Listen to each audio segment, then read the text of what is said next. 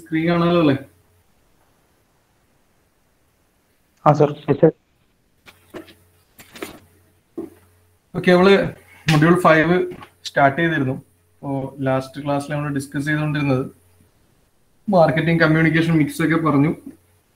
അതിനുശേഷം നമ്മൾ പിന്നെ ഡിസ്കസ് ചെയ്തത് communication environment and integrated marketing communication then what are the elements of effective communication nine elements ഉണ്ട് എന്ന് പറഞ്ഞു. Sender and receiver message and media encoding and decoding response and feedback last one is the noise then we are going to discuss about the next topic that is steps in developing effective integrated marketing communication so നമ്മളെ ഈ മൊഡ്യൂളിലെ ഞാൻ അത് പറഞ്ഞിട്ടുണ്ടായിരുന്നു.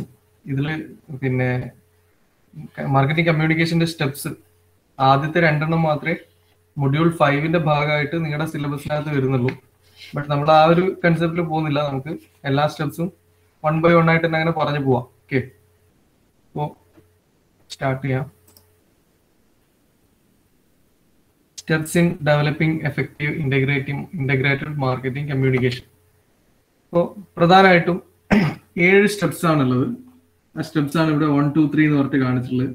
First one is the identifying target audience that is I D എന്നുള്ളത് identifying എന്നുള്ളതിന്റെ short ആക്കി എഴുതിയാണ് identifying of target audience second one the goals or determination of communication objective that is second step define goals or determining communication objectives then third step is developing a message developing a message fourth step is select channels for communication select channels for communication then fifth step is step is setting the budget uh, uh, determine the budget for this communication process.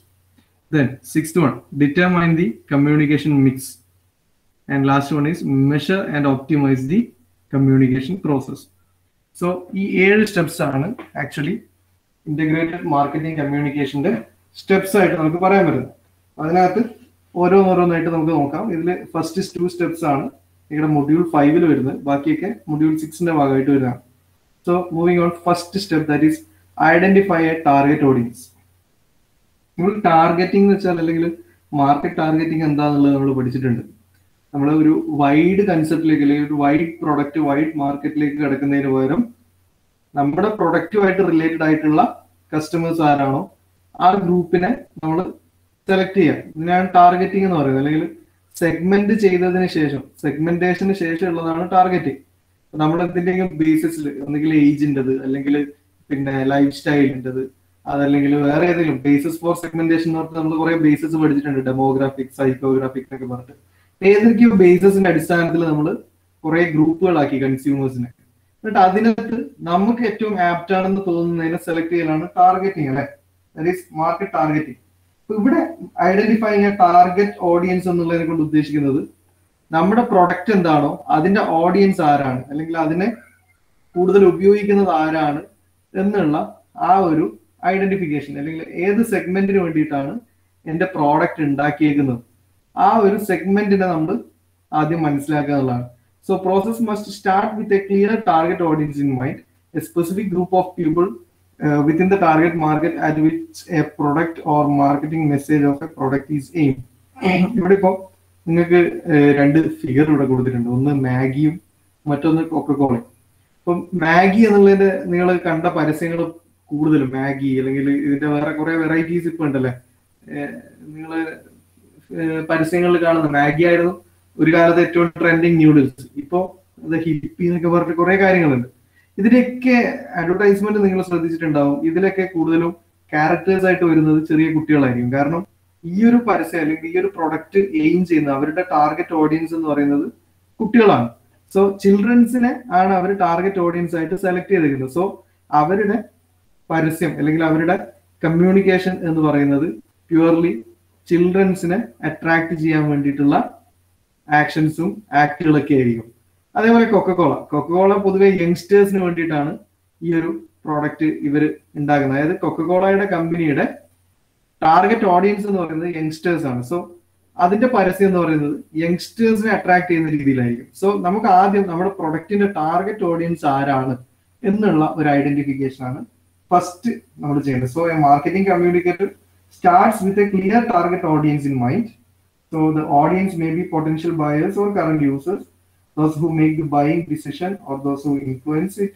The audience may be individuals, groups, special publics or general publics, etc. അതായത് നമ്മൾ ഇപ്പം ആദ്യം നമ്മൾ ചെയ്യേണ്ടത് നമ്മുടെ product എന്താണോ ആ പ്രോഡക്റ്റിന്റെ ഉപയോക്താക്കൾ ആരാണ് അല്ലെങ്കിൽ ആ പ്രൊഡക്റ്റ് ഉപയോഗിക്കുന്ന സെഗ്മെന്റ് ഏതാണ് എന്നുള്ളതിനെ പറ്റി കൃത്യമായ ഐഡിയ ഉണ്ടാക്കുക എന്നുള്ളതാണ് ഫസ്റ്റ് സ്റ്റെപ്പ് സോ നിങ്ങൾ നാളെ ഒരു മൊബൈൽ ഫോൺ അല്ലെങ്കിൽ നിങ്ങൾ എന്തെങ്കിലും ഒരു പ്രൊഡക്റ്റ് ഉണ്ടാക്കുന്ന കമ്പനിയിൽ നിങ്ങൾ കയറി കഴിഞ്ഞാൽ അതിനൊരു അഡ്വർടൈസ്മെന്റ് അല്ലെ അതിനൊരു കമ്മ്യൂണിക്കേഷൻ സ്റ്റാർട്ട് ചെയ്യണമെങ്കിൽ നിങ്ങൾ ആദ്യം എന്ത് വേണം? നിങ്ങളുടെ ഓഡിയൻസ് ആരാണ് എന്നുള്ളതിനെ പറ്റി ഐഡിയ വേണം. അല്ലെങ്കിൽ നിങ്ങളുടെ ടാർഗറ്റ് സെഗ്മെന്റ് ഏതാണ് എന്നുള്ളതിനെ പറ്റി ഐഡിയ വേണം. നമുക്ക് അതിനനുസരിച്ച് വേണം നമ്മൾ എന്ത് ചെയ്യാൻ? അഡ്വർടൈസ്മെന്റും മറ്റു കാര്യങ്ങളൊക്കെ സെറ്റ് ചെയ്യാൻ. So starting step is identifying a target audience then second step that is determine the communication objectives അല്ലെ? ആണ് നമ്മുടെ സെക്കൻഡ് സ്റ്റെപ്പ് പറഞ്ഞത്. അപ്പൊ എന്താണ്? നമ്മളിപ്പോ ഓക്കെ നമ്മളിപ്പോ മാഗിയാണ് നമ്മുടെ പ്രോഡക്റ്റ് അപ്പൊ ആ പ്രോഡക്റ്റിൽ നമ്മൾക്ക് ടാർഗറ്റ് ഓഡിയൻസ് കിട്ടി. ചിൽഡ്രൻസ് ആണ് എന്റെ ടാർഗറ്റ് ഓഡിയൻസ് ഇനി നമ്മൾ കമ്മ്യൂണിക്കേഷൻ ഒബ്ജക്റ്റീവ്സ് സെറ്റ് ചെയ്യണം. നമ്മളൊരു വലിയ പ്രോസസ് ആണ് ഇവിടെ ചെയ്യാൻ പോകുന്നത്. കമ്മ്യൂണിക്കേഷൻ ഇന്റഗ്രേറ്റഡ് മാർക്കറ്റിംഗ് കമ്മ്യൂണിക്കേഷൻ എന്ന് പറയുന്നത് ഒരു വൈഡ് പ്രോസസ് ആണ്. സോ നമ്മൾ ഈ കമ്മ്യൂണിക്കേഷന്റെ ഒബ്ജക്റ്റീവ്സ് സെറ്റ് ചെയ്യണം. അപ്പൊ എന്തൊക്കെ ആയിരിക്കണം എന്റെ ഈ ഒരു അഡ്വർടൈസ്മെന്റ് അല്ലെങ്കിൽ ഈ കമ്മ്യൂണിക്കേഷനെ കൊണ്ട് ഉണ്ടാവേണ്ടത് അല്ലെങ്കിൽ എന്തൊക്കെ കാര്യങ്ങളാണ് ഞാൻ കസ്റ്റമേഴ്സിന്റെ അടുക്ക് എത്തിക്കാൻ ഉദ്ദേശിക്കുന്നത്. So what should be the main purpose behind the companies need to connect with the customers അപ്പോൾ കസ്റ്റമേഴ്സുമായിട്ടുള്ള ഇൻഫർമേഷൻ ചേഞ്ചിനാണല്ലോ നമ്മളിവിടെ മാർക്കറ്റിംഗ് കമ്മ്യൂണിക്കേഷൻ എന്നുള്ളതിനെ കൊണ്ട് ഉദ്ദേശിക്കുന്നത്. എന്റെ പ്രൊഡക്റ്റുമായിട്ട് ബന്ധപ്പെട്ട ഇൻഫർമേഷൻസ് കസ്റ്റമേഴ്സിൽ എത്തിക്കുക എന്നതാണ് ഞാനത് ചെയ്യുന്നത്. ഞാൻ എന്ത് അതിനെ കൊണ്ട് മീൻ ചെയ്യുന്നത്? ഇന്റഗ്രേറ്റഡ് മാർക്കറ്റിംഗ് കമ്മ്യൂണിക്കേഷൻ എന്നുള്ളതിനെ കൊണ്ട് മീൻ ചെയ്യുന്നത്. സോ എന്തൊക്കെ കാര്യങ്ങളാണ് എന്റെ പ്രൊഡക്റ്റിനെ പറ്റി കസ്റ്റമേഴ്സിന്റെ അടുക്ക ഞാൻ അറിയിക്കേണ്ടത് എന്നുള്ളതിനെ പറ്റിയുള്ള ഒരു goal setting determine the communication objective അല്ലെങ്കിൽ determining the goals of our communication എന്തൊക്കെ കാര്യങ്ങൾ എങ്ങനെയൊക്കെ ആയിരിക്കണം ആ ഒരു സ്ട്രാറ്റജി സെറ്റിംഗ് ആണ് second step so possible objectives എന്ന് പറഞ്ഞാൽ ഇവിടെ കുറച്ച് objectives category need brand purchase intention brand awareness brand attitude ഇതൊക്കെ ആവാം. ഇതൊരു പോസിബിൾ ഒബ്ജക്റ്റീവ്സ് ആണ്. ഒന്ന് എന്റെ കമ്പനിയുടെ അല്ലെങ്കിൽ ഞാൻ ഉണ്ടാക്കാൻ പോകുന്ന അഡ്വർടൈസ്മെന്റിന്റെ ഒബ്ജക്റ്റീവ്സ് ആയിട്ട് ഞാൻ സെറ്റ് ചെയ്തേക്കുന്നത് ഒന്ന് കാറ്റഗറി നീഡ് കസ്റ്റമേഴ്സിനെ അറിയിക്കുക. മറ്റൊന്ന് ബ്രാൻഡ് പർച്ചേസ് ഇന്റൻഷൻ മറ്റൊന്ന് ബ്രാൻഡ് അവയർനെസ് ഉണ്ടാക്കുക. അതുപോലെ ബ്രാൻഡ് ആറ്റിറ്റ്യൂഡ് ഉണ്ടാക്കുക. എന്താണ് ഇതൊക്കെ എന്നുള്ളത് നമുക്ക് നോക്കാം. സോ ഇതൊക്കെ പോസിബിൾ ഇത് തന്നെ ആവണം എന്നൊന്നുമില്ലേ? ഒബ്ജക്റ്റീവ്സ് നമ്മുടെ പ്രോഡക്റ്റിനും നമ്മുടെ വേ ഓഫ് കമ്മ്യൂണിക്കേഷൻ അനുസരിച്ചൊക്കെ മാറാം. ഇവിടെ പറഞ്ഞ കുറച്ച് പോസിബിൾ ഒബ്ജക്റ്റീവ്സ് ഉണ്ട്. What is category need category need establishing a new product category. It is necessary to remove or satisfy a perceived discrepancy between a current and desired motivational states. ഇവിടെ ഒരു example പറഞ്ഞു electric cars new to the world a need to reduce greenhouse gas emission അപ്പോൾ ഞാനിപ്പോൾ ഉണ്ടാക്കി വെക്കുന്ന one product എന്ന് പറയുന്നത് ഒരു ഇലക്ട്രിക് കാറാണ് ഈ ഇലക്ട്രിക് കാറിന്റെ ഒബ്ജക്റ്റീവ് എന്ന് പറയുന്നത് അല്ലെങ്കിൽ ഈ കാറിന്റെ കമ്മ്യൂണിക്കേഷൻ ഒബ്ജക്റ്റീവ് എന്ന് പറയുന്നത് ഈ ഒരു കൺസെപ്റ്റ് ആണ്. New to the world need to reduce greenhouse gas emission അതായത് ഓൾറെഡി ഇതേ കാറ്റഗറിയിലുള്ള ഒരുപാട് പ്രോഡക്ട്സ് എന്തുണ്ട്? നമ്മുടെ മാർക്കറ്റിൽ അവൈലബിൾ ആണ്. ഒരുപാട് ഡിഫറെന്റ് വെറൈറ്റീസ് ഓഫ് കമ്പനികളുടെ കാർ ഓട്ടോമൊബൈൽ വെഹിക്കിൾസ് നമ്മുടെ മാർക്കറ്റിൽ അവൈലബിൾ ആണ്.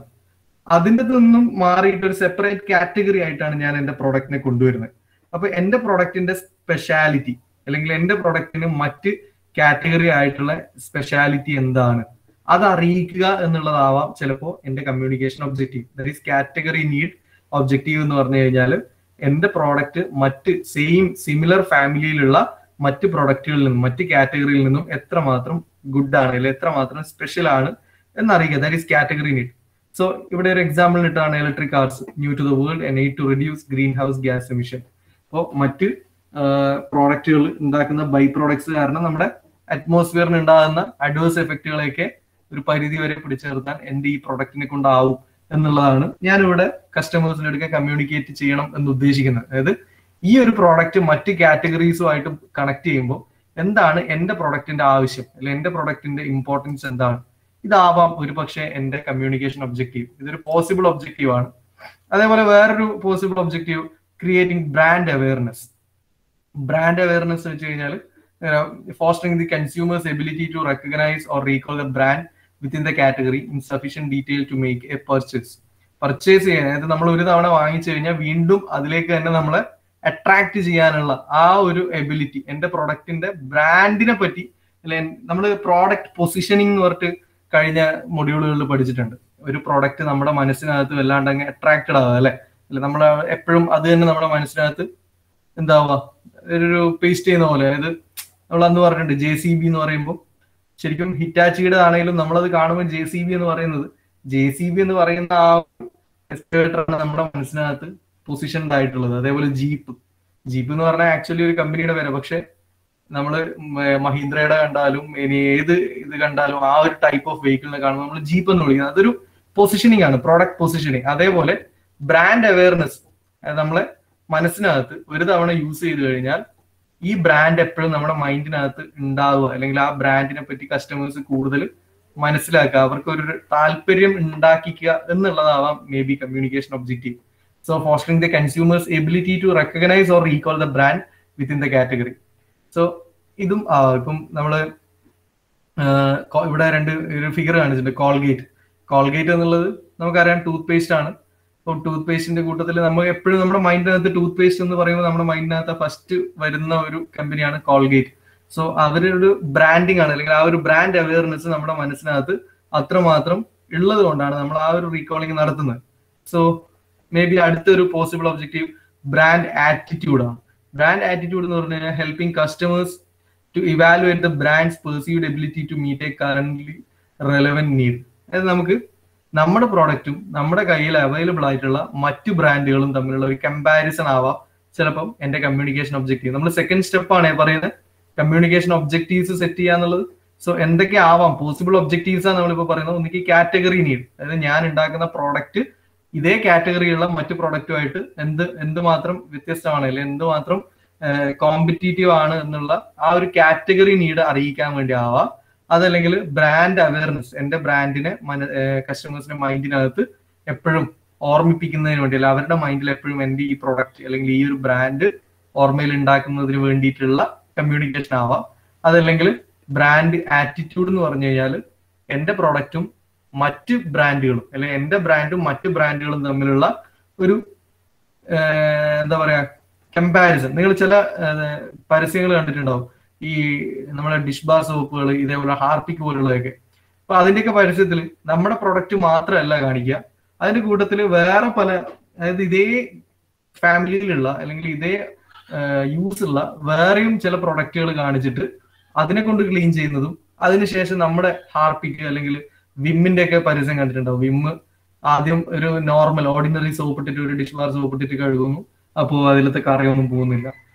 ദെൻ വിമ്മിലേക്ക് വരുമ്പോൾ വിമ്മിട്ട് കഴുകുമ്പോൾ നല്ല നല്ല തിളക്കം ഉണ്ടാവും സ്റ്റീൽ പാത്രങ്ങൾക്ക് തിളക്കം രീതിയിൽ കാണിക്കുന്നത്. അത് ശരിക്കും ഒരു ബ്രാൻഡ് ആറ്റിറ്റ്യൂഡ് നമ്മുടെ മൈൻഡിനകത്ത് സെറ്റ് ചെയ്യാൻ വേണ്ടിയിട്ടാണ്. സോ സംടൈംസ് കമ്മ്യൂണിക്കേഷന്റെ ഒബ്ജക്റ്റീവ്സ് ഈ ബ്രാൻഡ് ആറ്റിറ്റ്യൂഡ് ആവാം. ബ്രാൻഡ് ആറ്റിറ്റ്യൂഡ് എന്ന് പറഞ്ഞു കഴിഞ്ഞാൽ മറ്റ് പ്രോഡക്റ്റ് അല്ലെങ്കിൽ മറ്റ് ബ്രാൻഡുകളിൽ നിന്നും എന്റെ ബ്രാൻഡിനെ ഒന്ന് കമ്പാരിസൺ നടത്തുക. അങ്ങനെ വരുമ്പോൾ നമുക്കൊരു ഒരു എന്താ പറയാ ഈ ഒരു പ്രൊഡക്റ്റ് കാണുമ്പോൾ മറ്റു പ്രൊഡക്റ്റിൽ നിന്നും ഇത് എത്രമാത്രം അടിപൊളിയാണ് എന്നുള്ള രീതിയിലേക്ക് നമ്മൾ ഒരു മൈൻഡിനെ കൊണ്ടുപോകും. അപ്പൊ അങ്ങനെയുള്ള ബ്രാൻഡ് ആറ്റിറ്റ്യൂഡിന് വേണ്ടിയിട്ടാവാം സംടൈംസ് കമ്മ്യൂണിക്കേഷൻ ദെൻ ചിലപ്പോൾ ബ്രാൻഡ് പർച്ചേസ് ഇന്റൻഷന് വേണ്ടിയിട്ടാവാം. എന്താ brand purchase intention moving customers to decide to purchase the brand or take purchase related action promotional offers like coupons or deals encourage consumers to make a mental commitment to buy അത് എന്റെ product അല്ലെങ്കിൽ എന്റെ brand കമ്മ്യൂണി customers വാങ്ങിക്കുന്നതിന് വേണ്ടിയിട്ട് അവരുടെ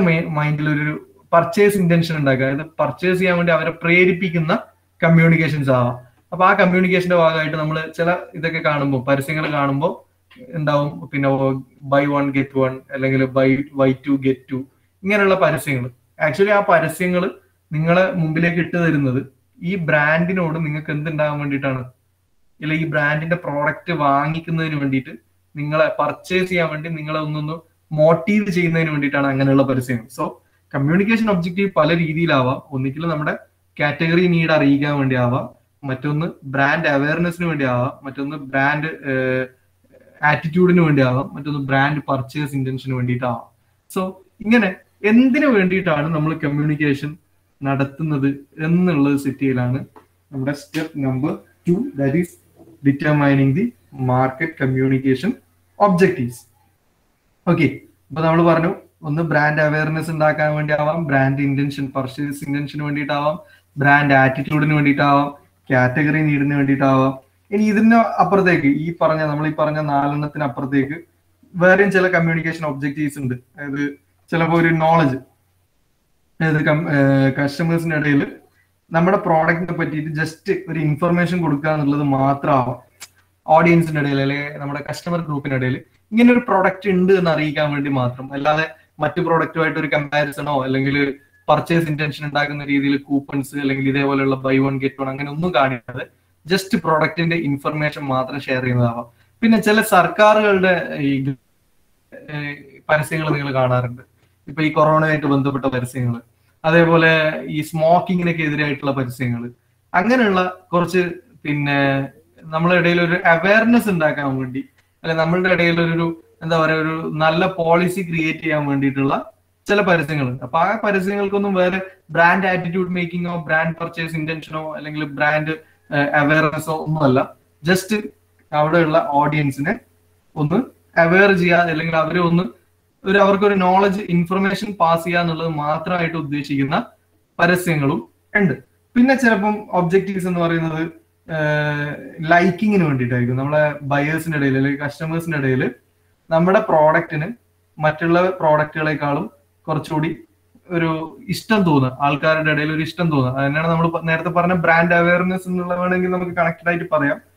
പിന്നെ ചിലപ്പോൾ നമ്മുടെ ഒബ്ജക്റ്റീവ് എന്ന് പറയുന്നത് പ്രിഫറൻസും കസ്റ്റമേഴ്സിന്റെ മൈൻഡിൽ ഒരു പ്രിഫറൻസ് സെറ്റ് ചെയ്യുക. നമ്മളിപ്പോ പറഞ്ഞ ബ്രാൻഡ് ആറ്റിറ്റ്യൂഡ് എന്നൊക്കെ പറഞ്ഞ പോലെ മറ്റ് പ്രോഡക്റ്റുകളിൽ നിന്നും നമ്മുടെ പ്രോഡക്റ്റിനെ പ്രിഫർ ചെയ്യുക. അല്ലെങ്കിൽ അതിനൊരു മുൻഗണന കിട്ടാൻ വേണ്ടിയിട്ടുള്ള പരസ്യങ്ങളായിരിക്കും നമ്മൾ ചെയ്യുന്നത്. സോ നമ്മൾ എന്തിനു വേണ്ടിയിട്ടാണ് നമ്മൾ ഈ ഒരു കമ്മ്യൂണിക്കേഷൻ ചെയ്യുന്നത് എന്ന് സെറ്റ് ചെയ്യുന്നതാണ് second step that is determining the communication objectives okay then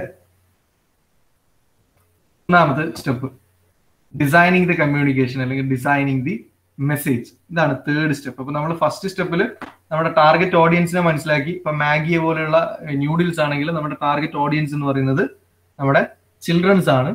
then second സ്റ്റെപ്പിൽ ഈ ചിൽഡ്രൻസിനെ എടുക്കാൻ നമ്മൾ എന്താണ് പറയാൻ ഉദ്ദേശിക്കുന്നത്? അത് ചിലപ്പോൾ നമ്മൾ മറ്റ് ന്യൂഡിൽസ് കമ്പനികളുമായിട്ട് റിലേറ്റ് ചെയ്തിട്ടാവാം. അതല്ലെങ്കിൽ നമ്മുടെ പ്രോഡക്റ്റിന്റെ പോസിറ്റീവ് സൈഡ് മാത്രം പറഞ്ഞുകൊണ്ട് ഒരു ബ്രാൻഡ് അവയർനെസ് മേക്കിംഗ് ആവാം. അതല്ലെങ്കിൽ ഒരു ബ്രാൻഡ് പർച്ചേസ് ഇന്റൻഷൻ ക്രിയേറ്റ് ചെയ്യണം. അതായത് ഒരു പാക്കറ്റ് വാങ്ങുമ്പോൾ ഒരു പാക്കറ്റ് ഫ്രീ അങ്ങനെയുള്ള രീതിയിലുള്ള ഒരു പർച്ചേസ് മോട്ടിവേഷൻ നൽകാൻ വേണ്ടിയിട്ടാവാം. അപ്പോൾ അത് നമ്മൾ ആക്കി ദെൻ മൂന്നാമത്തെ സ്റ്റെപ്പിൽ എന്താണ് നമ്മൾ കസ്റ്റമേഴ്സിന്റെ ഇടയിൽ കമ്മ്യൂണിക്കേറ്റ് ചെയ്യാൻ പോകുന്നത്? അതായത് എന്താണ് നമ്മുടെ മെസ്സേജ് അപ്പോൾ മെസ്സേജ് സെറ്റ് ചെയ്യുമ്പോൾ എന്ത് കുറെ കാര്യങ്ങൾ കുറെ ക്വസ്റ്റ്യൻസ് ആണ്. വാട്ട് ടു സേ എന്താണ് മെസ്സേജ് പറയേണ്ടത്? അല്ലെങ്കിൽ എന്ത് മെസ്സേജ് ആണ് നമ്മൾ കൊടുക്കേണ്ടത്? ദെൻ ഹൗ ടു സേ എങ്ങനെ പറയണം? ദെൻ ഹൂ ഷുഡ് സേ ആര് പറയണം?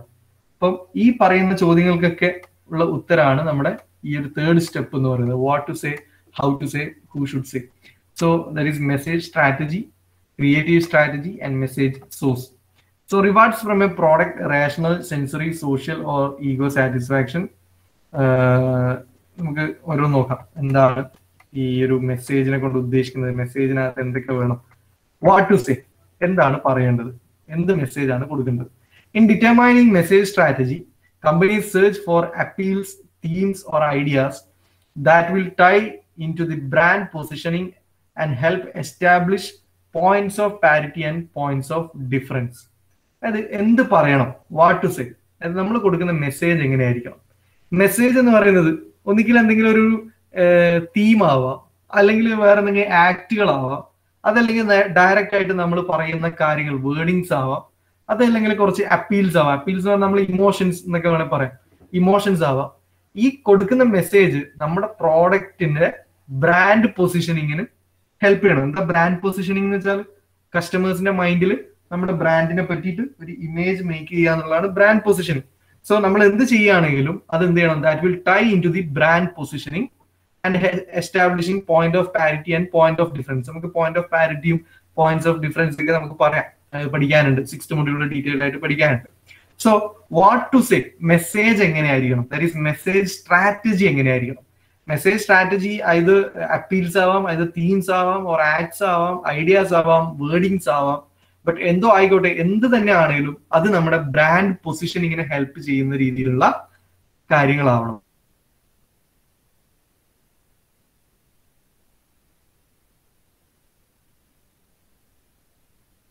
സോ നമ്മൾ പറയുന്ന കാര്യങ്ങളാണെങ്കിലും നമ്മൾ ആഡ് ചെയ്ത് ചെയ്യുന്ന മെസ്സേജുകളായിരിക്കണം ദെൻ അത് തന്നെ രണ്ട് അടുത്തായിട്ട് നമുക്ക് എങ്ങനെ ഇത് പറയാം?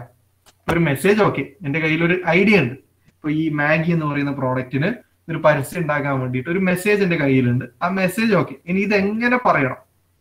How to say that is creative strategy creative strategies are the way market translate the message in to specific communication അപ്പോ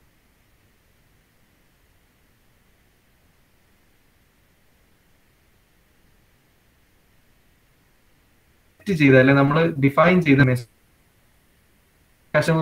അപ്പീൽസ് ആൻഡ് ട്രാൻസ്ഫോർമേഷണൽ അപ്പീൽസ് എന്താണ് informational appeals products attributes and benefits logic and reason triggered then transformational appeals എന്ന് വെച്ച് കഴിഞ്ഞാൽ non product related benefits stir up emotions അതായത് informational appeals എന്ന് വെച്ച് കഴിഞ്ഞാൽ ഇപ്പോൾ എന്റെ പ്രോഡക്റ്റ് മാഗിയാണ് അപ്പൊ ഈ മാഗിയുമായിട്ട് ഡയറക്റ്റ് ആയിട്ട് അല്ലെ പ്രൊഡക്റ്റുമായിട്ട് ബന്ധപ്പെട്ട അതിന്റെ ക്വാളിറ്റി അതിന്റെ സ്പെസിഫിക്കേഷൻസ് അതിന്റെ ആട്രിബ്യൂട്ട്സ് ഇതൊക്കെ നമ്മൾ ഡയറക്റ്റ് ആയിട്ട് ഇൻഫോം ചെയ്യുക. That is informational appeals then transformational appeals എന്ന് വെച്ച് കഴിഞ്ഞാൽ പ്രൊഡക്റ്റുമായിട്ട് റിലേറ്റ് അല്ലെങ്കിൽ മാഗിയുമായിട്ട് റിലേറ്റ് ചെയ്തതായിരിക്കില്ല. നമ്മൾ നേരെ പറയാതെ ഈ പ്രൊഡക്റ്റിനെ പറ്റിയിട്ടുള്ള അതിന്റെ ബെനിഫിറ്റ്സ് അല്ലെങ്കിൽ അതിന്റെ മറ്റു കാര്യങ്ങൾ നേരിട്ട് അവതരിപ്പിക്കാതെ അതുമായിട്ട് റിലേറ്റ് ചെയ്യുന്ന രീതിയിൽ വേറെ എന്തെങ്കിലും ആക്ഷൻസ് വേറെ എന്തെങ്കിലും തീംസ് ഒക്കെ വെച്ചിട്ട് നമ്മൾ ഈ പ്രൊഡക്റ്റിലേക്ക് എത്തിക്കുക. ഇപ്പം നമ്മൾ അങ്ങനെയുള്ള പല പരസ്യങ്ങളും കണ്ടിട്ടുണ്ടാവും.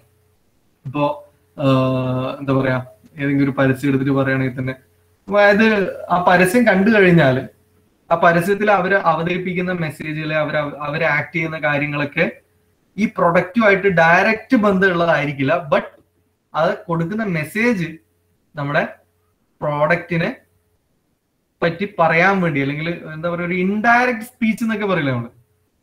ഒരു ഇൻഡയറക്റ്റ് പ്രസന്റേഷൻ പ്രൊഡക്റ്റിന്റെ കാര്യങ്ങൾ വൺ ബൈ വൺ ആയിട്ട് പറയാതെ അതുമായിട്ട് റിലേറ്റ് ചെയ്യുന്ന ഒരു non product related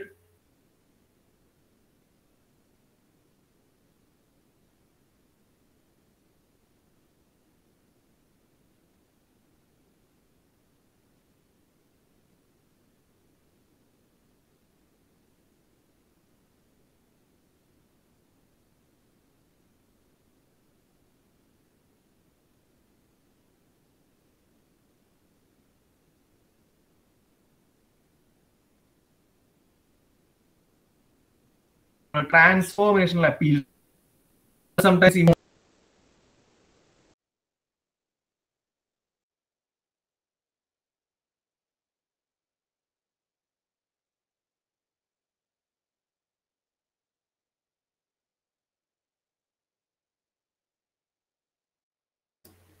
hello sir കേൾക്കുന്നില്ല? സർ ഇടക്കിടക്ക് ഓടിയ കട്ടാകുന്നു ഓക്കെ ഇപ്പൊ ക്ലിയർ അല്ലേ? ആ sir yes sir okay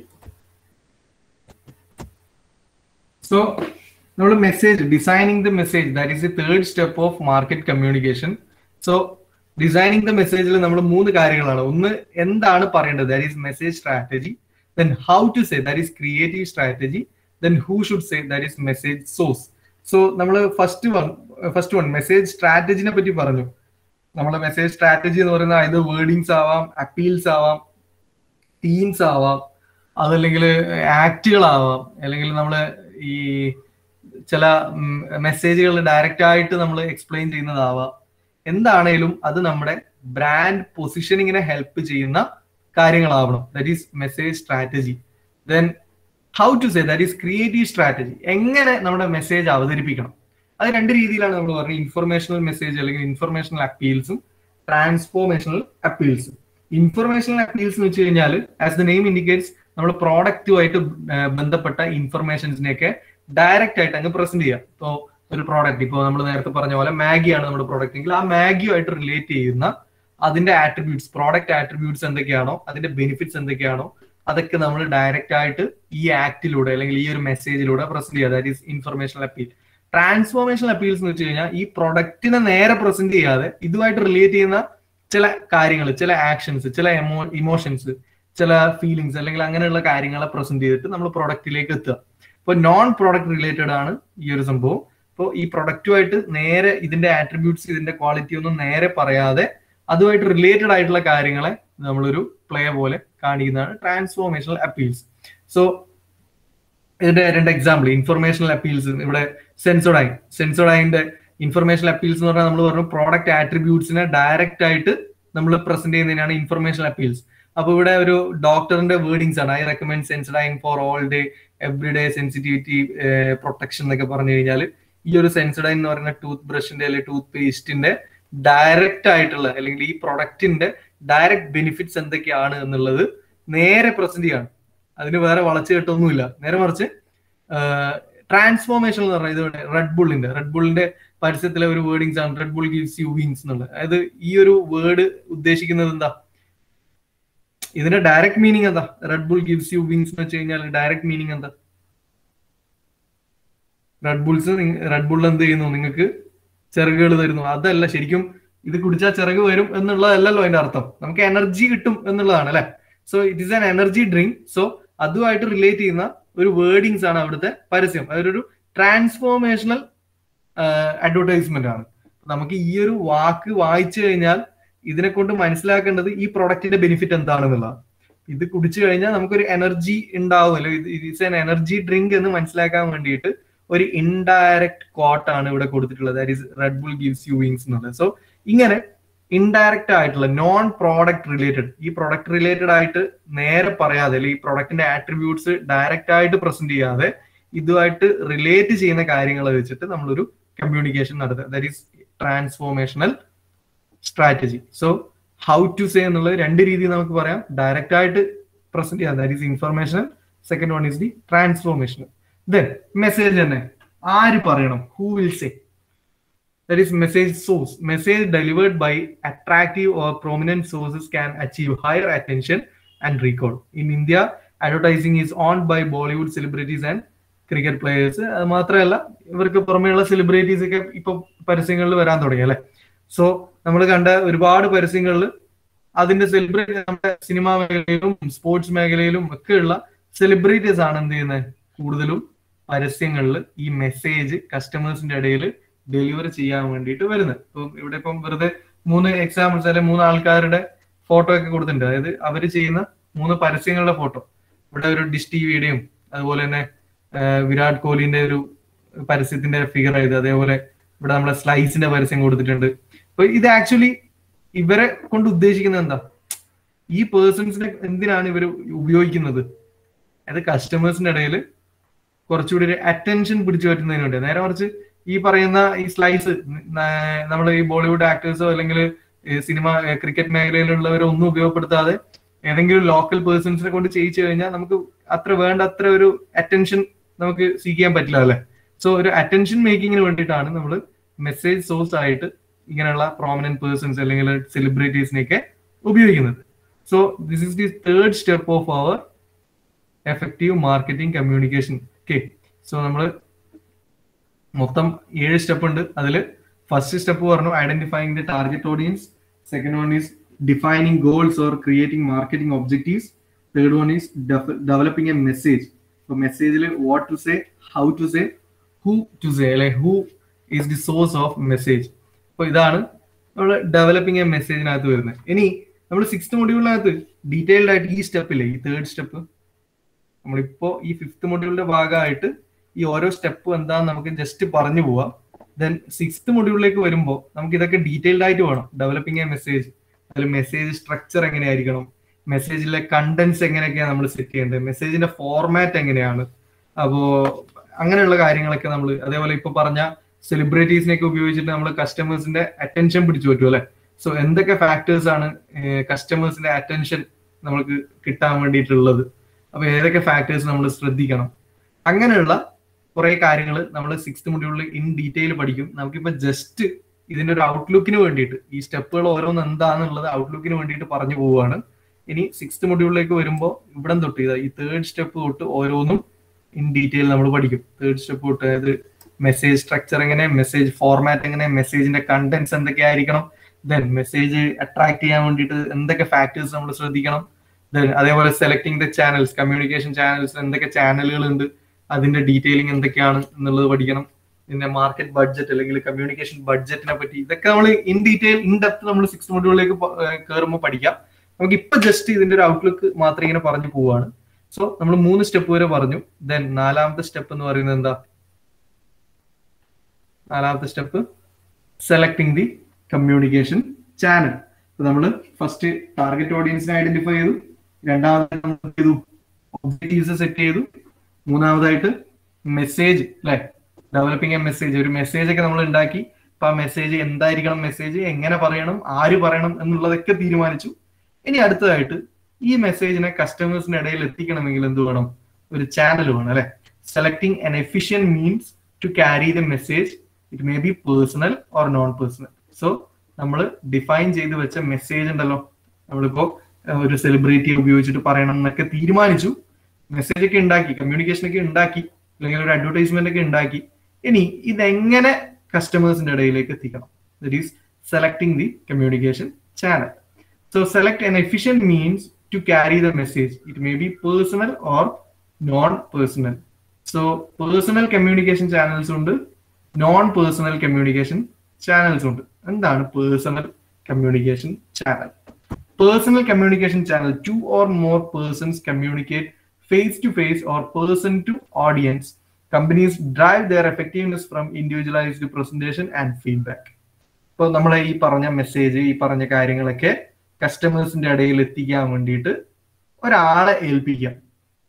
അപ്പൊ ഇവിടെ ഇപ്പോ നമ്മൾ L I C L I സിയുടെ ഒക്കെ പരസ്യം നമുക്ക് ടി വിയിൽ കാണാറുണ്ടെങ്കിലും നമ്മൾ കൂടുതൽ അതിനെപ്പറ്റി ബോധേഡാവുന്നത് അതിന്റെ ഏജന്റുമാര് നമ്മളെ വീട്ടിൽ വന്ന് നമ്മുടെ പാരന്റ്സിന്റെ അടുക്കൊക്കെ വന്നിട്ട് പോളിസി എടുപ്പിക്കുന്നതൊക്കെ നിങ്ങൾ കണ്ടിട്ടുണ്ടാവും. അപ്പൊ ആ പോളിസിയുടെ ബെനിഫിറ്റ്സ് എന്തൊക്കെയാണ്? ആ പോളി പോളിസിയുടെ ആട്രിബ്യൂട്ട്സ് എന്തൊക്കെയാണ്? അതിനെ കൊണ്ട് എന്തൊക്കെ കാര്യങ്ങളാണ് നമുക്ക് അച്ചീവ് ചെയ്യാൻ പറ്റുക? എന്നുള്ളതൊക്കെ ഇതേപോലെ ഇവിടെ നിങ്ങൾക്ക് ഒരു ഫിഗറിൽ കാണാൻ പറ്റും. ഇവിടെ ഒരു ഒഫീഷ്യൽ രണ്ടാൾക്കാരോട് സംസാരിക്കുന്നതായിട്ട് അല്ലെ? ഇവിടെ ഒരാൾ ഫേസ് ടു ഫേസ് അല്ലെങ്കിൽ ഒരു ഒരു സിംഗിൾ പേഴ്സൺ ഒരു ഫേസ് ടു ഫേസ് കമ്മ്യൂണിക്കേഷൻ അവിടെ നടത്തുക. ഇതേപോലെ നമ്മൾ ചില പ്രൊഡക്റ്റുകൾ പറ്റിയിട്ടുള്ള ഇൻഫർമേഷൻസ് നമ്മളോട് ഫേസ് ടു ഫേസ് പറയാൻ വേണ്ടി കമ്പനികൾ ആൾക്കാരെ ഏൽപ്പിച്ചിട്ടുണ്ടാവും. That is personal communication channel so നമ്മൾ ടാർഗറ്റ് ഓഡിയൻസിനെ സെറ്റ് ചെയ്തു. ഇപ്പം പോളിസീസ് ഒക്കെ ആകുമ്പോൾ റിട്ടയർമെന്റ് പോളിസീസ് ഒക്കെ ആണെങ്കിൽ റിട്ടയർഡ് എംപ്ലോയീസിനെയാണ് അവർക്ക് വേണ്ടത്. അപ്പൊ അവിടുത്തെ ടാർഗറ്റ് ഓഡിയൻസ് എന്ന് പറയുന്നത് റിട്ടയർഡ് എംപ്ലോയീസ് ആണ്. ദെൻ എന്ത് മെസ്സേജ് ആണ് അവർക്ക് വേണ്ടി കൊടുക്കേണ്ടത്? എന്താണ് ഒബ്ജക്റ്റീവ് ഒബ്ജക്റ്റീവ് സെറ്റ് ചെയ്തു. തേർഡ് സ്റ്റെപ്പിൽ നമ്മൾ മെസ്സേജ് എന്തൊക്കെ ആയിരിക്കണം? എങ്ങനെ മെസ്സേജ് പ്രസന്റ് ചെയ്യണം? എന്ത് മെസ്സേജ് ആണ് പ്രസന്റ് ചെയ്യേണ്ടത്?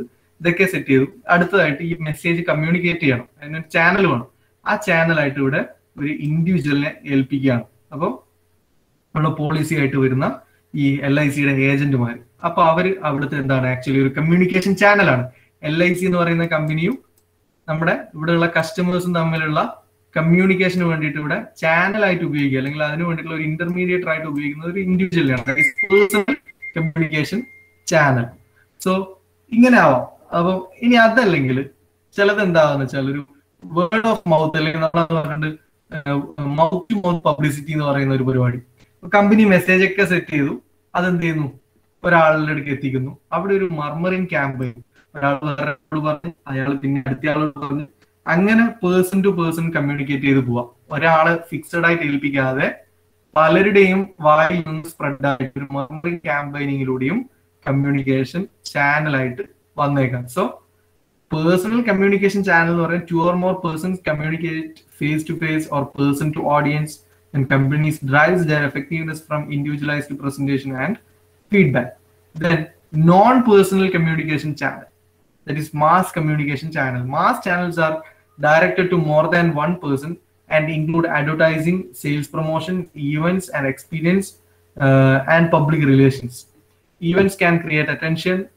അതായത് നമ്മളിപ്പോ പറഞ്ഞ പേഴ്സണൽ കമ്മ്യൂണിക്കേഷന്റെ നേരെ ഓപ്പോസിറ്റ് ഇവിടെ ഒരു സിംഗിൾ ഇൻഡിവിജ്വലിനെ ഉപയോഗപ്പെടുത്തിയിട്ടാണ് കംപ്ലീറ്റ് കമ്മ്യൂണിക്കേഷൻ നടത്തുന്നത്. അതിന് ഉപരിയായിട്ട് ഇങ്ങനെ ഒരു പേഴ്സൺസിനെ അല്ലെങ്കിൽ ഒരു സിംഗിൾ ഇൻഡിവിജ്വൽസിനെ ഉപയോഗപ്പെടുത്താതെ അവരെ അല്ലാതെ മാസ് അതായത് നമ്മളിപ്പം ടി വിയിലൊക്കെ കാണുന്ന പോലെയുള്ള അഡ്വർടൈസ്മെന്റ് അതൊരു മാസ് കമ്മ്യൂണിക്കേഷൻ ചാനലാണ് അതായത് ടി വിയിലൂടെ എന്ന് പറയുമ്പോൾ ഒരേ സമയം ഒരുപാട് ആൾക്കാരിലേക്ക് നമ്മുടെ മെസ്സേജ് എത്തുകയാണ്. അപ്പം ടി വി അഡ്വർടൈസ്മെന്റ്സ് അതേപോലെ സെയിൽസ് പ്രൊമോഷൻ സെയിൽസ് പ്രൊമോഷൻ എന്ന് പറഞ്ഞാൽ നമ്മുടെ റിബേറ്റുകൾ പിന്നെ അതേപോലെ ഡിസ്കൗണ്ടുകൾ അതേപോലെ ഈ പറഞ്ഞ ഓഫറുകൾ ഇങ്ങനെയുള്ളതൊക്കെ ഒരു വലിയ വിഭാഗം ആൾക്കാർ ഉദ്ദേശിച്ചുകൊണ്ട് ഒരു മാസ് ഓഡിയൻസിനെ ഉദ്ദേശിച്ചുകൊണ്ട് നടത്തുന്നതാണ്. അറ്റ് എ ടൈം ഒരുപാട് ആൾക്കാരുമായിട്ട് അവർ കമ്മ്യൂണിക്കേറ്റ് ചെയ്യുന്നുണ്ട്. ഇപ്പൊ ടി വിയിൽ ഒരു അഡ്വർടൈസ്മെന്റ് പ്ലേ ചെയ്യുമ്പോൾ ഒരേ സമയത്ത് ലക്ഷക്കണക്കിന് ആൾക്കാർ ലോകത്തിന്റെ വിവിധ ഭാഗങ്ങളിൽ നിന്നുണ്ട് ഈ ഒരു അഡ്വർടൈസ്മെന്റ് കാണുന്നുണ്ട് സോ അങ്ങനെ ഒരു മാസ് കമ്മ്യൂണിക്കേഷൻ ആവാം.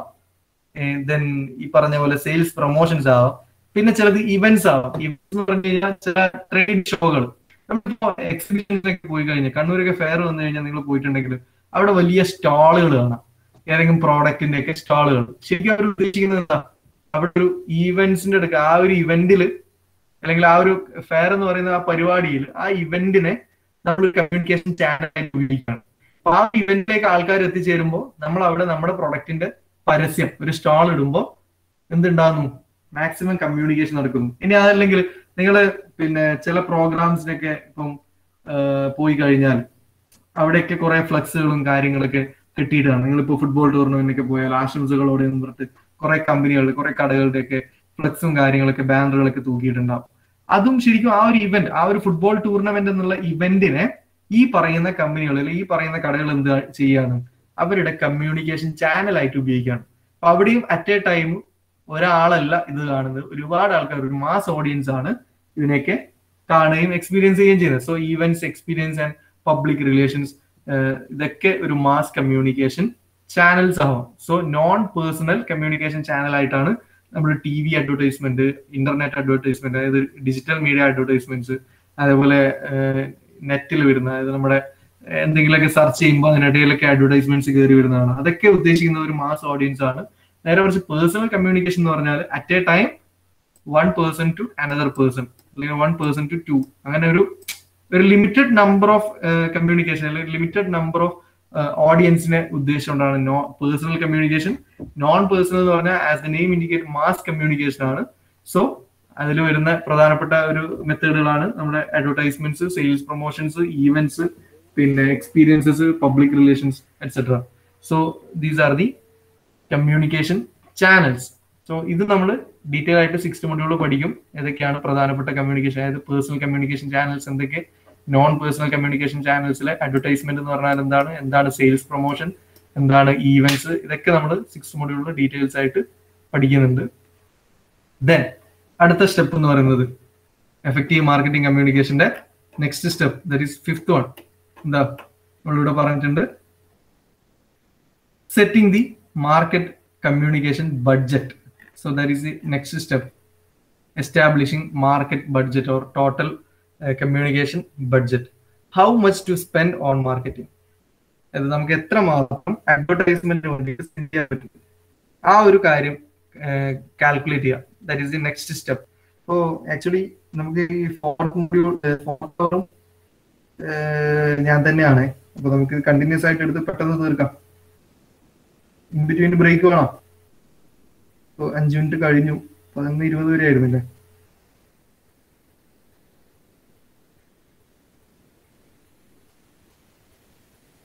ഹലോ ഹലോ യെസ് ബ്രേക്ക് വെച്ചിട്ട് അടുത്ത അവർ വീണ്ടും കൊടുക്കണോ അല്ല കണ്ടിന്യൂസ് ആയിട്ട് എടുത്തിട്ട് വേഗം തീർത്താൽ മതിയോ?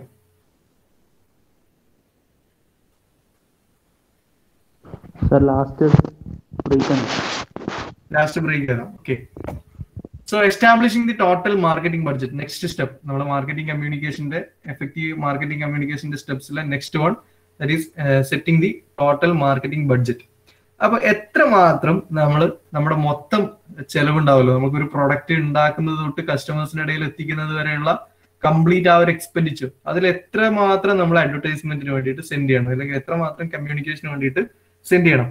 So that is how much to spend on marketing communication it can be forty to forty five percentage in cosmetics while only five to ten percentage in industrial equipment industry ഇത് നമ്മുടെ ഒരു common phenomena അല്ലെങ്കിൽ ഒരു common strategy എന്താന്ന് പറഞ്ഞു കഴിഞ്ഞാൽ cosmetic ഐറ്റംസിന്റെ ഒക്കെ മൊത്തം പൈസയുടെ ഫോർട്ടി ടു ഫോർട്ടി ഫൈവ് പെർസെന്റേജും അതിന്റെ അഡ്വർടൈസ്മെന്റ് ചാർജ് അല്ലെങ്കിൽ അതിന്റെ കമ്മ്യൂണിക്കേഷന് വേണ്ടിയിട്ടാണ് അവർ ഉപയോഗപ്പെടുത്തുന്നത്. നേരെ മറിച്ച് ഇൻഡസ്ട്രിയൽ എക്യുപ്മെന്റ്സിനൊക്കെ ആണെങ്കിൽ ഒരു ഫൈവ് ടു ടെൻ പെർസെന്റേജ് മാത്രമേ അവരെന്ത് ചെയ്യുന്നുള്ളൂ? അവർ കമ്മ്യൂണിക്കേഷന് വേണ്ടിയിട്ട് ഉപയോഗിക്കുന്നു നമുക്ക് തന്നെ അറിയാം. നമ്മളിപ്പോ ടി വിയിലും മറ്റ് മീഡിയാസിലൊക്കെ കൂടുതലും കാണുന്ന പരസ്യങ്ങൾ എന്ന് പറയുന്നത് നമ്മൾ ഡെയിലി ലൈഫിൽ യൂസ് ചെയ്യുന്ന പ്രധാനപ്പെട്ട എലമെന്റുകളാണ് അപ്പൊ അതിന് നല്ല രീതിയിലുള്ള അഡ്വർടൈസ്മെന്റ് കൊടുക്കുന്നുണ്ട്. നേരെ മറിച്ച് ചെറിയ ഇൻഡസ്ട്രിയൽ എക്യുപ്മെന്റ്സ് നമ്മളെ ലാബ് എക്യുപ്മെന്റ്സ് ലാബ് എക്യുപ്മെന്റ്സിനൊന്നും നിങ്ങൾ ടി വിയിൽ ഇതുവരെ പരസ്യം കണ്ടിട്ടുണ്ടാവില്ല. അവരുടെ ടാർഗറ്റ് ഓഡിയൻസ് എന്ന് പറയുന്നത് ഇങ്ങനെയുള്ള ലാബ് ഉള്ള ഇൻസ്റ്റിറ്റ്യൂഷനുകളാണ് അപ്പോൾ അവരിലേക്ക് എത്തിക്കുന്നതിന് വേണ്ടിയിട്ടുള്ള ചെറിയ അഡ്വർടൈസ്മെന്റ് ബ്രോഷറുകൾ ചെറിയ രീതിയിലുള്ള അഡ്വർടൈസ്മെന്റ് അവർക്ക് ആവശ്യമുള്ളൂ. അതുകൊണ്ട് തന്നെ അവർ കമ്മ്യൂണിക്കേഷന് വേണ്ടിയിട്ട് ഒരു ഫൈവ് ടു ടെൻ പെർസെന്റേജ് അത്രയൊക്കെ അവർ ഉപയോഗപ്പെടുത്തുന്നുള്ളൂ. നേരെ മറിച്ച് നമ്മളെ കോസ്മെറ്റിക്സ് അതേപോലെ ഡെയിലി ലൈഫിൽ നമ്മൾ യൂസ് ചെയ്യുന്ന ഫുഡ് ഐറ്റംസ് പ്രോഡക്ട്സ് ഇതൊക്കെ ആകുമ്പോൾ നല്ല രീതിയിൽ കസ്റ്റമേഴ്സിന്റെ ഇടയിൽ കമ്മ്യൂണിക്കേഷൻ എത്തി കഴിഞ്ഞാൽ മാത്രമേ നമ്മൾ പ്രൊഡക്റ്റ് വിറ്റ് കഴിഞ്ഞ് പോകുള്ളൂ അതുകൊണ്ട് തന്നെ മാക്സിമം നമ്മൾ കമ്മ്യൂണിക്കേഷന് വേണ്ടിയിട്ട് അവിടെ സെറ്റ് ചെയ്യും അല്ലെങ്കിൽ ഉപയോഗപ്പെടുത്തും. So forty to forty five percentage cosmetics അതേപോലെ ഡെയിലി ലൈഫിൽ ഉപയോഗിക്കുന്ന ഫുഡ് ഐറ്റംസിനൊക്കെ വേണ്ടിയിട്ട് നിലവിലെ സാഹചര്യത്തിൽ കമ്പനീസ് യൂസ് ചെയ്യുന്നുണ്ട്. അതിനെ കുറിച്ച് ഇൻഡസ്ട്രിയൽ എക്യുപ്മെന്റ്സ് ലാബ് എക്യുപ്മെന്റ്സ് അങ്ങനെയുള്ള സ്പെസിഫിക് ആപ്ലിക്കേഷൻസ് ഉള്ള എക്യുപ്മെന്റ്സ് ഒരു ഫൈവ് ടു ടെൻ പെർസെന്റേജ് മാത്രമേ അവരുടെ അഡ്വർടൈസ്മെന്റിന് വേണ്ടിയിട്ട് അവർ എന്ത് ചെയ്യുന്നുള്ളൂ? യൂസ് ചെയ്യുന്നുള്ളൂ. That is the establishing total marketing budget then പിന്നെയുള്ള രണ്ട് സ്റ്റെപ്സും കൂടി ഉണ്ടല്ലേ സിക്സ്ത് സ്റ്റെപ്പും seventh സ്റ്റെപ്പും determining the mix advertising mix ഇപ്പൊ നമ്മൾ ബഡ്ജറ്റ് ഒക്കെ സെറ്റ് ചെയ്തു. അടുത്തതായിട്ട് നമ്മൾ ചെയ്യേണ്ടത് ഡിറ്റർമൈനിങ് ദി മാർക്കറ്റ് മിക്സ് അപ്പൊ എന്താ മാർക്കറ്റിംഗ് മിക്സ് എന്നുള്ളത് നമ്മൾ ഇവിടെ പഠിച്ചിട്ടുണ്ട്. അഡ്വർടൈസിംഗ് ആവാം സെയിൽസ് പ്രൊമോഷൻ ആവാം പബ്ലിക് റിലേഷൻ ആവാം പേഴ്സണൽ സെല്ലിംഗ് ആവാം ഡയറക്റ്റ് ഓർ ഇന്ററാക്റ്റീവ് മാർക്കറ്റിംഗ് ആവാം വേർഡ് ഓഫ് മൗത്ത് മാർക്കറ്റിംഗ് ആവാം. നമ്മളൊക്കെ റെഡിയാണ് നമ്മളെ കയ്യിൽ മെസ്സേജ് ഉണ്ട്. നമ്മളത് എങ്ങനെ പറയണമെന്ന് സെറ്റ് ചെയ്തിട്ടുണ്ട് ആര് പറയണമെന്ന് സെറ്റ് ചെയ്തിട്ടുണ്ട്. അതേപോലെ ചാനൽ കമ്മ്യൂണിക്കേഷൻ ചാനൽ ഏതാണെന്നൊക്കെ എന്നൊക്കെയുള്ളൊക്കെ നമ്മൾ ഉപയോഗപ്പെടുത്തിയിട്ടുണ്ട്. ഇനി എന്താണ് ഇനി നമ്മൾ ചെയ്യാൻ പോകുന്നത്? മാർക്കറ്റ് മിക്സ് ഏതാണ് എടുക്കാൻ പോകുന്നത്? അപ്പൊ മിക്സ് ഞാൻ ചിലപ്പോൾ എടുക്കുന്നത് അഡ്വർടൈസ്മെന്റ് ആയിരിക്കും. അപ്പൊ നമ്മുടെ കയ്യിലുള്ള മെസ്സേജ് ആ ഒരു കാര്യങ്ങളെ ഒരു പരസ്യ രൂപത്തിൽ എത്തിക്കുക. അതാണ് അടുത്ത സ്റ്റെപ്പ് ഇനി അതല്ലെങ്കിൽ ചിലപ്പോൾ ഞാൻ ഈ മെസ്സേജുകളൊക്കെ ഉപയോഗപ്പെടുത്തിയിട്ട് ഒരു സെയിൽസ് പ്രൊമോഷൻ കസ്റ്റമേഴ്സിന് ഇടയിൽ എത്തിക്കുക എന്നുള്ളതാണ്. അപ്പോൾ സെയിൽസ് പ്രൊമോഷൻ എന്ന് പറയുമ്പോൾ നമുക്കറിയാം കൂപ്പൺസ് അതേപോലെ റിബേറ്റ്സ് ഡിസ്കൗണ്ട്സ് അതേപോലെയുള്ള ഓഫറുകൾ ഇതൊക്കെയാണ്. അപ്പൊ ഈ രീതിയിലാണ് നമ്മുടെ മെസ്സേജ് നമ്മുടെ സെറ്റ് ചെയ്ത മാർക്കറ്റ് ചാനൽ നമ്മൾ സെലക്ട് ചെയ്ത മാർക്കറ്റ് ചാനലിലൂടെ ഒരു സെയിൽസ് പ്രൊമോഷൻ കമ്മ്യൂണിക്കേഷൻ ആവാം. അതല്ലെങ്കിൽ പേഴ്സണൽ സെല്ലിംഗ് ആവാം വേർഡ് ഓഫ് മൗത്ത് മാർക്കറ്റിംഗ് ആവാം. നമ്മൾ പഠിച്ച മാർക്കറ്റിംഗ് മിക്സിൽ ഏതാണ് നമ്മുടെ പ്രൊഡക്റ്റിന് പറ്റുന്നത് എന്നുള്ള സെലക്ഷൻ ആണ് that is determining the communication mix നിങ്ങൾ ഒരിക്കലും എഫക്റ്റീവ് മാർക്കറ്റിംഗ് കമ്മ്യൂണിക്കേഷൻ എന്നുള്ളതിനെ കൊണ്ട് വെറും പരസ്യം മാത്രം അഡ്വർടൈസ്മെന്റ് മാത്രമാണ് എന്ന് വിചാരിക്കരുത്. മാർക്കറ്റിംഗ് കമ്മ്യൂണിക്കേഷൻ എന്ന് പറഞ്ഞു കഴിഞ്ഞാൽ അഡ്വർടൈസ്മെന്റ് മാത്രമല്ല പരസ്യം മാത്രമല്ല. നേരെ മറിച്ച് നമ്മൾ ഇതിനു മുമ്പ് പഠിച്ചു പറഞ്ഞ കമ്മ്യൂണിക്കേഷൻ ചാനൽസ് അല്ലെങ്കിൽ കമ്മ്യൂണിക്കേഷൻ മെത്തേഡ്സ് ആണ്. കമ്മ്യൂണിക്കേഷൻ മിക്സസ് ആണ്. സോ മാർക്കറ്റ് കമ്മ്യൂണിക്കേഷൻ എന്ന് പറയുമ്പോൾ നമ്മൾ പരസ്യം മാത്രം പരസ്യം മാത്രമല്ല. പരസ്യം it is a advertising is a one of the marketing communication mix അതിന് പുറമേ കുറെ കമ്മ്യൂണിക്കേഷൻ മിക്സുകൾ കമ്മ്യൂണിക്കേഷൻ മെത്തേഡുകൾ ഉണ്ട്. സോ നമ്മളിപ്പോ മൊത്തം ഈ പറയുന്ന ഈ കമ്മ്യൂണിക്കേഷൻ മെത്തേഡുകളുടെ ഒക്കെ മൊത്തത്തിലുള്ള ഇതിന്റെ സ്റ്റെപ്പാണ് നമ്മൾ പറഞ്ഞിട്ടുള്ളത്. അപ്പൊ അത് നമ്മൾ identifying the target audience second one നമ്മൾ എന്ത് ചെയ്തു? ഇതിനു വേണ്ടിയിട്ടൊരു ഒബ്ജക്റ്റീവ് ക്രിയേറ്റ് ചെയ്തു. പിന്നെ നമ്മൾ മെസ്സേജ് സ്ട്രക്ചർ ഉണ്ടാക്കി മെസ്സേജ് ഉണ്ടാക്കി. ദെൻ അടുത്തായിട്ട് ചാനൽ സെലക്ട് ചെയ്തു. അടുത്തായിട്ട് ബഡ്ജറ്റ് സെറ്റ് ചെയ്തു. ഇനി ഇതിനകത്ത് ഏത് മെത്തേഡ് നമുക്ക് വേണം? അഡ്വർടൈസ്മെന്റ് വേണോ? സെയിൽസ് പ്രൊമോഷൻ വേണോ? അല്ലെങ്കിൽ പി ആർ വേണോ? അല്ലെങ്കിൽ പേഴ്സണൽ സെല്ലിംഗ് മതിയോ? അല്ലെങ്കിൽ ഡയറക്റ്റ് മാർക്കറ്റിംഗ് ആണോ? അല്ലെങ്കിൽ വേർഡ് ഓഫ് മൗത്ത് മാർക്കറ്റിംഗ് ആണോ? ഇതിൽ ഏത് മെത്തേഡ് ആണ് എന്നുള്ളത് സെലക്ട് ചെയ്യലാണ് seventh step then six step then seventh step measure and optimise നമ്മളിപ്പോ അഡ്വർടൈസിംഗ് ആണ് സെലക്ട് ചെയ്ത്. അപ്പൊ അതിനനുസരിച്ച് നമ്മൾ ഒരു പരസ്യമൊക്കെ ഉണ്ടാക്കി നമ്മൾ ചാനൽ വഴി കമ്മ്യൂണിക്കേഷൻ നമ്മൾ സെലക്ട് ചെയ്ത കമ്മ്യൂണിക്കേഷൻ ചാനൽ വഴി ഇതിനെ പുറത്തു വിട്ടു കസ്റ്റമേഴ്സിന്റെ ഇടയിലേക്ക് എത്തിച്ചു. ഇനി നമ്മുടെ ഈ അഡ്വർടൈസ്മെന്റിനെ മെഷർ ചെയ്യാം. അത് എത്രമാത്രം എഫക്റ്റീവ് ആണ്? കസ്റ്റമേഴ്സ് എത്രമാത്രം ഇതിൽ അട്രാക്റ്റഡ് ആണ്? നമ്മുടെ പ്രോഡക്റ്റ് ഈ ഒരു അഡ്വർടൈസ്മെന്റ് കൊടുത്തതിന് ശേഷം എത്രമാത്രം നമുക്ക് അതിനെ കൊണ്ട് ബെനിഫിറ്റ്സ് ഉണ്ടായിട്ടുണ്ട്? എത്രമാത്രം നമുക്ക് വാല്യൂ നമ്മുടെ കമ്പനിയുടെ വാല്യൂ ഇൻക്രീസ് ചെയ്തിട്ടുണ്ട്. ബ്രാൻഡ് അവയർനെസ് ഉണ്ടായിട്ടുണ്ട്. എത്രമാത്രം കസ്റ്റമേഴ്സിന്റെ ഇടയിൽ ഒരു ബ്രാൻഡ് പൊസിഷനിങ് ക്രിയേറ്റ് ചെയ്യാൻ പറ്റി എന്നുള്ള രീതിയിലുള്ള ഒരു ഇവാലുവേഷൻ ആണ്. ശരിക്കും ഇത് നമ്മളൊരു ഹലോ ഹലോ ഹലോ പ്രശ്നമൊന്നുമില്ലല്ലോ. എനിക്ക് എന്താ ഇടയ്ക്ക്. അല്ല മൈക്ക് ഓൺ ആയതാണോ ഓക്കെ സോ ലാസ്റ്റ് സ്റ്റെപ്പ് നമ്മുടെ കമ്മ്യൂണിക്കേഷൻ പ്രോസസ്സിന്റെ ലാസ്റ്റ് സ്റ്റെപ്പ് എന്ന് പറയുന്നത് measure and optimise the communication നമ്മൾ സെറ്റ് ചെയ്ത നമ്മൾ സെലക്ട് ചെയ്ത കമ്മ്യൂണിക്കേഷൻ മെസ്സേജും കമ്മ്യൂണിക്കേഷൻ ചാനലും കമ്മ്യൂണിക്കേഷൻ മിക്സ് ഒക്കെ കറക്റ്റ് ആണോ? നമ്മൾ ഉദ്ദേശിച്ച റിസൾട്ട് കിട്ടുന്നുണ്ടോ എന്നുള്ള രീതിയിലുള്ള മെഷർമെന്റ് ആൻഡ് ഓപ്റ്റിമൈസ് സംടൈംസ് നമ്മൾ മെഷർ ചെയ്തപ്പോൾ നമുക്ക് മനസ്സിലായത് നമ്മളിപ്പോൾ ഫോളോ ചെയ്യുന്ന മെത്തേഡ് ശരിയല്ല. നമുക്ക് തീരെ കസ്റ്റമേഴ്സിനെ അട്രാക്ട് ചെയ്യാൻ പറ്റുന്നില്ല എന്നൊക്കെ തോന്നിക്കഴിഞ്ഞാൽ നമ്മളൊന്ന് റീതിങ്ക് ചെയ്യേണ്ടി വരും. അപ്പൊ നമ്മുടെ ഡിറ്റർമൈൻഡ് മിക്സിൽ ചിലപ്പോൾ അഡ്വർടൈസ്മെന്റ് മാറ്റിയിട്ട് ഒരു സെയിൽസ് പ്രൊമോഷൻ ടൂൾ നമ്മൾ ആഡ് ചെയ്യേണ്ടി വരും. അതല്ലെങ്കിൽ ഒരു ഡയറക്ട് മാർക്കറ്റിംഗ് നമ്മൾ ആഡ് ചെയ്യേണ്ടി വരും. അങ്ങനെയുള്ള രീതിയിൽ ഒരു റീതിങ്ക് അതിനൊന്നും കൂടി ഒന്നുകൂടി ശരിയാക്കുക അതിനൊന്ന് ഒപ്റ്റിമൈസ് ചെയ്യുക. So that is the last step of our market communication so these are the steps in developing effective marketing communication okay so ഏഴ് സ്റ്റെപ്പാണ് ഇതിൽ ഏറ്റവും ഇമ്പോർട്ടന്റ് ആണ് ഓരോ സ്റ്റെപ്പുകളും ഇതിൽ തേർഡ് സ്റ്റെപ്പ് തൊട്ട് നമ്മൾ സിക്സ് മൊഡ്യൂൾ ഡീറ്റെയിൽഡ് ആയിട്ട് ഒന്നുകൂടി പഠിക്കാനുണ്ട്. അപ്പോൾ ഫസ്റ്റ് ടു ആണ് നമ്മുടെ fifth module so that is identifying target audience then defining the market communication goals so അതിനുശേഷം ഡെവലപ്പിംഗ് എ മെസ്സേജ് മെസ്സേജ് എങ്ങനെയാവണം? എന്താണ് മെസ്സേജ് എങ്ങനെ പ്രസന്റ് ചെയ്യണം? ആര് പ്രസന്റ് ചെയ്യണം? ഇതാണ് നമ്മളിപ്പോൾ ഇവിടെ പറഞ്ഞിട്ടുള്ളത്. ഇതിന് പുറമെ message structure message format message content ഇതിനെ പറ്റിയൊക്കെ നമുക്ക് ഒന്നുകൂടി പഠിക്കാം. Then selecting the channels channels എങ്ങനെയാണ്? പേഴ്സണൽ ചാനൽസ് ഉണ്ട് നോൺ പേഴ്സണൽ ചാനൽസ് ഉണ്ട്. Then budgeting then determining the mix and measure and optimise the communication so these are the steps in developing effective marketing communication ഇത് എക്സാമിന് ചോദിക്കാറുള്ള question ആണ്. ഇനി നമുക്ക് ശരിക്കും പറഞ്ഞു കഴിഞ്ഞാൽ ആക്ച്വലി ഫിഫ്ത്ത് മൊഡ്യൂൾ ഇവിടെ തീരാണ്. ചെറിയ മൊഡ്യൂൾ ഞാൻ പറഞ്ഞിട്ടുണ്ട്. ഫിഫ്ത്ത് മൊഡ്യൂൾ ചെറിയ മൊഡ്യൂൾ മാത്രമാണ്. നിങ്ങൾക്ക് കാര്യമായിട്ട് ഒന്നുമില്ല ഈ മൊഡ്യൂൾ ഈ ഒരു ഭാഗത്ത് പാർട്ട് സി ക്വസ്റ്റ്യൻസ് എന്ന് പറയുന്നത് ഫിഫ്ത്ത് മൊഡ്യൂളിന്റെ ഭാഗത്ത് മാത്രമായിട്ട് അങ്ങനെ വരാറില്ല. ചിലപ്പോൾ രണ്ട് ക്വസ്റ്റ്യനും സിക്സ് മൊഡ്യൂളിന്റെ ഭാഗമായിട്ടൊക്കെ വരാറുണ്ട്. കാരണം ഫിഫ്ത്തും സിക്സ്തും ആക്ച്വലി ഒറ്റ സിംഗിൾ മൊഡ്യൂൾ ആണ്. ഓക്കെ അപ്പോ നമുക്കിനി ശരിക്കും പറഞ്ഞാൽ ഇനി അടുത്ത മൊഡ്യൂളിലേക്ക് കിടക്കുകയാണ് വേണ്ടത്. നമുക്ക് നെക്സ്റ്റ് ക്ലാസ് സിക്സ് മൊഡ്യൂൾ തുടങ്ങാം. അപ്പം ഈ ഭാഗത്ത് നോക്കുന്നത് എലമെന്റ്സ് ഓഫ് മാർക്കറ്റിംഗ് കമ്മ്യൂണിക്കേഷൻ അല്ലെങ്കിൽ what are the nine elements of marketing communication നിങ്ങൾക്ക് അറിയാലോ sender receiver encoding decoding message media feedback noise എന്നൊക്കെ കുറച്ച് നമ്മൾ പഠിച്ചിട്ടുണ്ട്. ഇമ്പോർട്ടന്റ് ആണ്.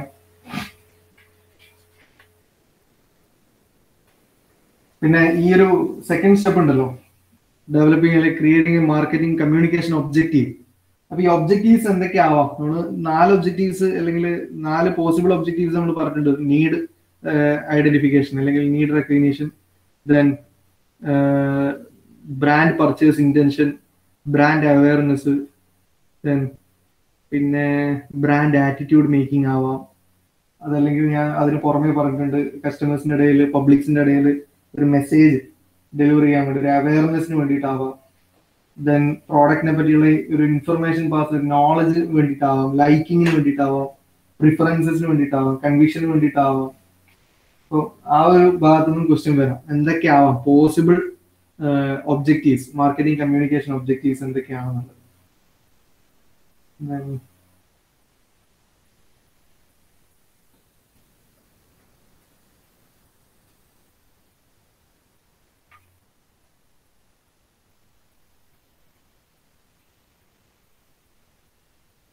ഓക്കെ ഇത്രയാണ് നമ്മുടെ ഫിഫ്ത്ത് മൊഡ്യൂൾ ഇനി സിക്സ്ത് മൊഡ്യൂൾ കുറച്ചുകൂടി വൈഡ് ആണ്.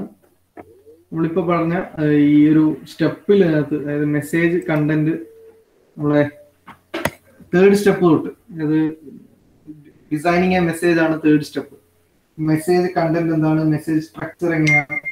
How to design message then message format and factors influencing the attention of target audience then communication channel fourth step അതിനകത്ത് പേഴ്സണൽ കമ്മ്യൂണിക്കേഷൻ ചാനൽ എന്ന് പറഞ്ഞാൽ എന്തൊക്കെയാണ്? എന്താണ് ബസ് മാർക്കറ്റിംഗ് എന്താണ് non personal communication channels then പിന്നെ promotion budget എങ്ങനെയൊക്കെയാ set ചെയ്യുക? Budget setting തന്നെ രണ്ട് മൂന്ന് ടൈപ്പ് ഉണ്ട്. Affordable method percentage of sales method competitive parity method എന്നൊക്കെ പറഞ്ഞിട്ട്. സിക്സ് മൊഡ്യൂൾ പിന്നെ വരുന്നതാണ് promotion mix promotion mix evaluation ഇങ്ങനെയൊക്കെയാ promotion mix നമ്മുടെ അഡ്വർടൈസ്മെന്റ് നമ്മളറിയാം പ്രൊമോഷൻ മിക്സ് അല്ലെ കമ്മ്യൂണിക്കേഷൻ മിക്സ് എന്ന് പറയുന്ന advertisements sales promotion personal selling public relation എന്നൊക്കെ പറഞ്ഞിട്ട് ഫിഫ്ത് മൊഡ്യൂൾ പഠിച്ചിട്ടുണ്ട്. അപ്പൊ അതിനെ എങ്ങനെയൊക്കെ നമുക്ക് ഇവാലുവേറ്റ് ചെയ്യാം ഓരോന്നിനെയും പിന്നെ നമുക്ക് സിക്സ് മൊഡ്യൂൾ പറയാനുള്ളത് സെയിൽസ് പ്രൊമോഷൻ ടൂൾ എന്തൊക്കെയാണ് പ്രൊമോഷൻ ടൂൾ ആയിട്ട് ഉപയോഗിക്കുന്നത്? സെയിൽസ് പ്രൊമോഷൻ ടൂൾ ആയിട്ട് നമ്മൾ പറഞ്ഞിട്ടുള്ള കൂപ്പൺസ് അതേപോലെ നമ്മുടെ ഓഫറുകൾ ദെൻ ഡിസ്കൗണ്ടുകൾ ആ ടൂളുകൾ ഏതൊക്കെയാണ്? പ്രൊമോഷൻ ടൂൾ ഏതൊക്കെയാണ്? ഇങ്ങനെയുള്ള കാര്യങ്ങളാണ് നമ്മൾ സിക്സ് മൊഡ്യൂളിൽ പറയാനുള്ളത്. സിക്സ് മൊഡ്യൂളിൽ പിന്നെ ഒരു അഡീഷണൽ ടോപ്പിക്കും കൂടി ഉണ്ട് ബ്രാൻഡ് മാനേജ്മെന്റ് എങ്ങനെയാണ് ഒരു ബ്രാൻഡ് എന്ന് പറയുന്ന സംഭവം ക്രിയേറ്റ് ചെയ്ത് കൊണ്ടുവരിക? നമ്മളിപ്പോ ഒരു കമ്പനി തുടങ്ങി ആ കമ്പനി ഒരു ബ്രാൻഡ് ആക്കി മാറ്റുക. എങ്ങനെയാണ് ബ്രാൻഡിങ് നടത്തുക? അല്ലെങ്കിൽ സിഗ്നിഫിക്കൻസ് ഓഫ് ബ്രാൻഡിങ് അല്ലെങ്കിൽ ഇമ്പോർട്ടൻസ് ഓഫ് ബ്രാൻഡിങ് എന്താണ്? Then how we can make a brand അല്ലെങ്കിൽ ഒരു കമ്പനിയെ എങ്ങനെ നമുക്ക് ബ്രാൻഡ് ആയിട്ട് ട്രാൻസ്ഫോം ചെയ്യാം. അപ്പൊ അങ്ങനെയുള്ള ബ്രാൻഡ് പെർസ്പെക്റ്റീവ്സും കൂടി ആയി കഴിഞ്ഞാൽ സിക്സ് മൊഡ്യൂളായി അപ്പോൾ സിക്സ് മൊഡ്യൂൾ കുറച്ചൊന്ന് വലിയ മൊഡ്യൂളാണ് നമുക്ക് ഫിഫ്ത് മൊഡ്യൂൾ ഇത്രയേ വരുന്നുള്ളൂ. സമയമുണ്ട് ശരിക്കും സിക്സ് മൊഡ്യൂൾ തുടങ്ങാം.